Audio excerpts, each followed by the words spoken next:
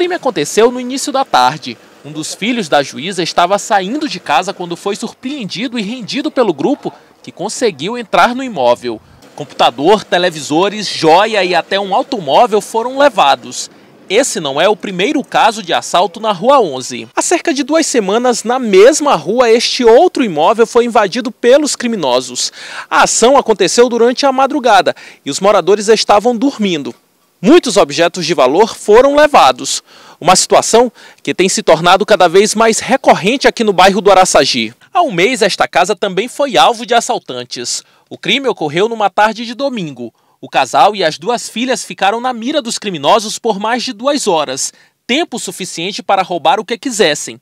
Câmeras, cerca elétrica, vigilância armada, nada disso tem sido capaz de impedir tantos crimes na região. Quando a polícia começa a intervir em determinadas situações, com prisão, prisões de traficantes, combate realmente ao tráfico de drogas, com apreensão de drogas, com a droga diminuindo, eles estão migrando para determinados cometer determinados crimes, a fim de compensar o prejuízo em relação às drogas.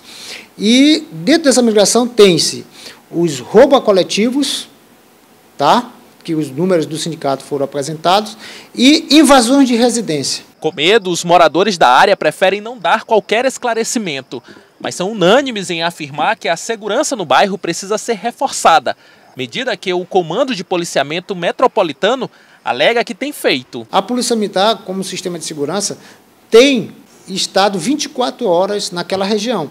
Só para você ter uma ideia, são quatro guarnições em viaturas do nono batalhão durante 24 horas, duas viaturas, só aí são seis. Policiais em motocicletas da USC, tá, que percorre o Alto Jaguarema e o Central Park. Então, essas guarnições estão, estão 24 horas. Por isso que nós apresentamos aqueles resultados de prisões de assaltantes.